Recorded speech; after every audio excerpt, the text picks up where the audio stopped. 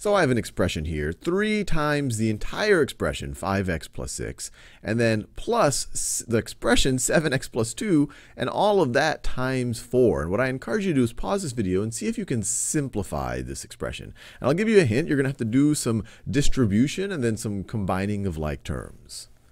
All right, now I'm assuming you've had a go at it. Now let's, let's work through this together. So as I mentioned, when I see this 3 times the entire expression 5x plus 6, I want to distribute that 3. So I want to multiply that 3 times 5x and that 3 times the 6. So 3 times 5x, well if I have 5x's and I have 3 times that, I'm going to have 15x's. And then 3 times 6 is 18.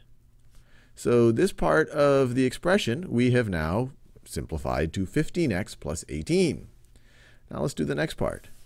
So here I have, I have this larger expression written before this 4, but I want to do the same thing. I just want to distribute the 4. It doesn't matter whether I'm multiplying, if I have the 3, if I have the number on the left side or on the right side. So let's distribute this 4. I want to do 4 times 7x, and I want to do 4 times 2.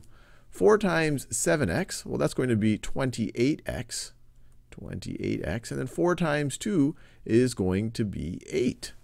So we're almost there. This part of our expression has simplified to 28x plus 8. And now we can combine we can combine similar terms.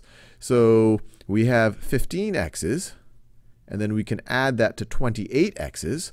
So if I had 15, let me do this in a different color. If I have 15 of something, and I add 28 of something, of that same something to it, well then I'm going to have, what, 43 x's.